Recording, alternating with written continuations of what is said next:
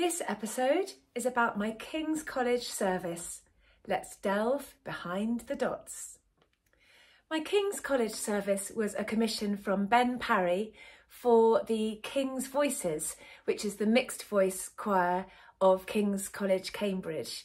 And it's just been a thrill because I wrote this setting hoping that choirs would enjoy singing it. And it's been one of my most popular pieces, I am told. So I'm really thrilled. It's got this lovely picture on the front of that iconic building.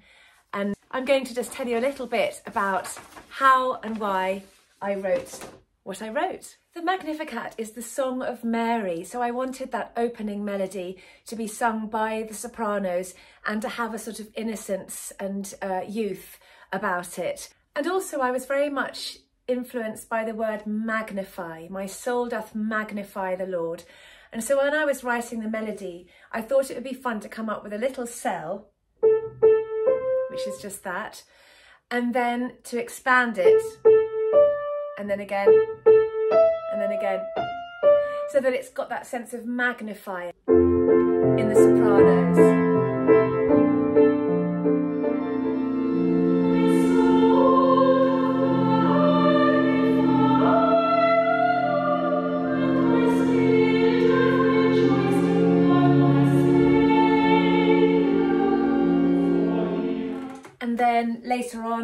When the lower voices sing, For he that is mighty hath magnified me, I have the same melody.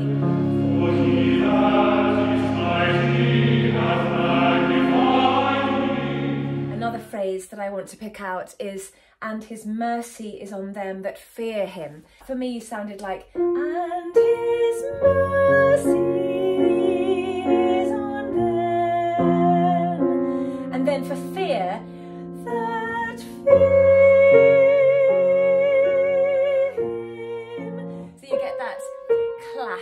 that suspension for the word fear. And then throughout all generations, it opens out. Throughout all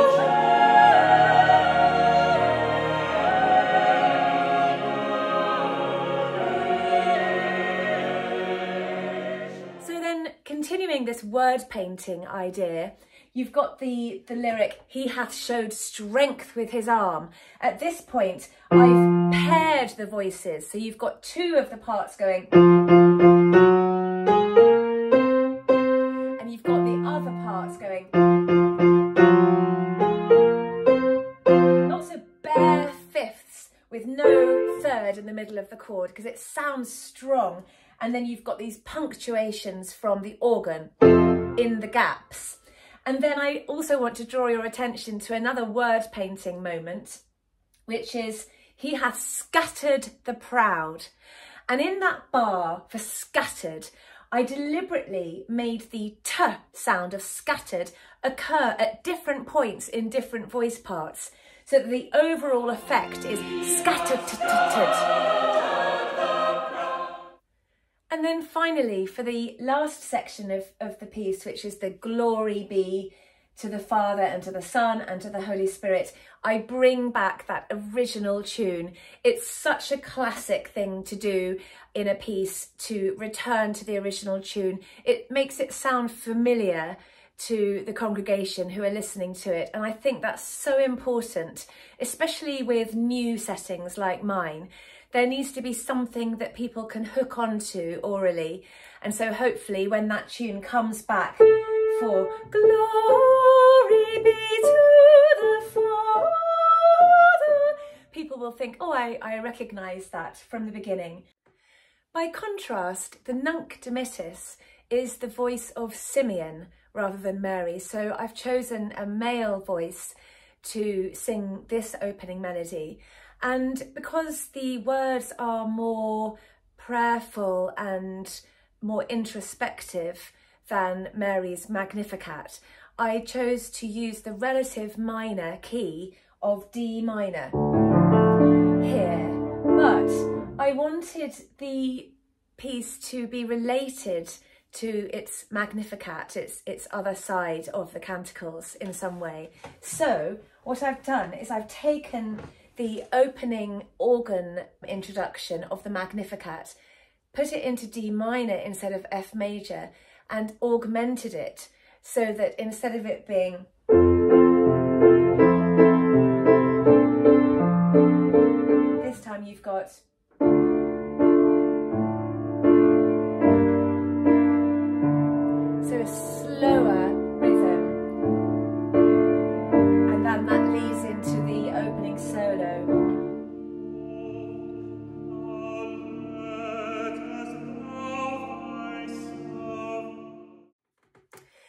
other part I want to mention from the Nunc Dimittis is this part to be a light to lighten the Gentiles. I love that moment because it's like the sun comes out.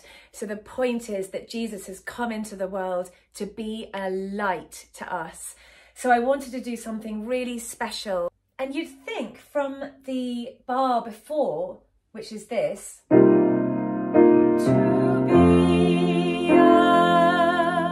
the next chord is going to be this, which is B flat major, because that's the dominant of B flat major. But instead, I played a little trick and I've gone to a different key because I want that light to sound really surprising. So instead, I've done this.